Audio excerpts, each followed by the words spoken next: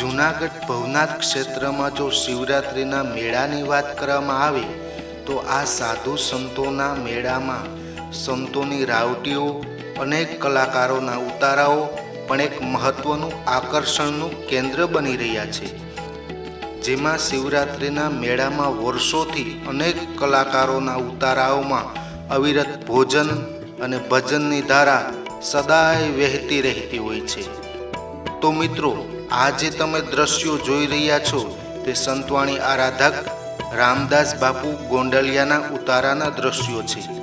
આ રામદાસ બાપુના ઉતારામાં શિવરાત્રિના મેળામાં પાંચ દિવસ સુધી સદાય ભોજન પ્રસાદ અને ભજનની ધારા સદાયને માટે વહેતી રહેતી હોય છે.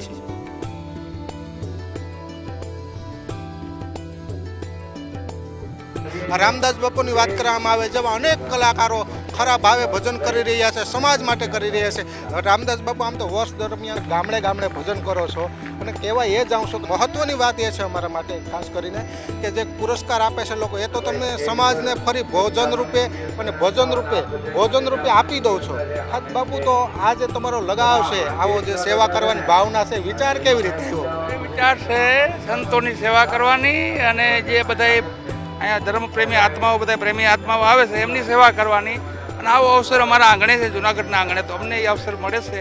એનો અમે સૌભાગ્ય માની અમારા આંગણે, અમારી ઝૂંપડીએ, અમારી ગિરનારી ભૂમિમાં બધા મલકમાંથી માનો મેરાવણ બધું ઉમટે છે.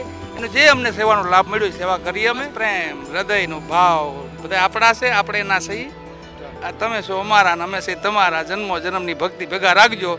એમ આપણે ભેગું રહેવાનું છે. અને બધાએ પ્રેમથી આવજો હરિયર કરજો. તમારું છે, તમારું જાણીને આવજો. બધાને સતીદાસ અમરતીદાસ જય ગિરનારી જય દત્ત જય ભોળાનાથ.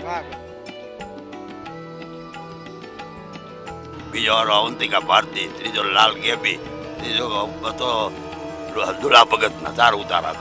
પછી અવંતિકા ભારતી પછી લાલ ગેબી પછી દુલા ભગત. સ્વામી કાનદાસ બાબુ જગમાલ અમરનાથજી કનુ બારોળ પ્રાણલાલ વ્યાસ ઇસ્માલ વાલેરો આવા નમઃ. કલાકારો अब बस आज लिखने में सोई घड़ी बाकी के दिन बाद આ સમય લખાઈ જશે આમાં હરિના ચોપડામાં આપણા બધાયનો આ સમય લખાઈ જશે કે ભાઈ આ ટાણ કે ભવનાથમાં હતા પધારો શેખાઓ જય સાંઈનાથ એટલે બાબા રામદેવજી મારાને યાદ કરી લઈ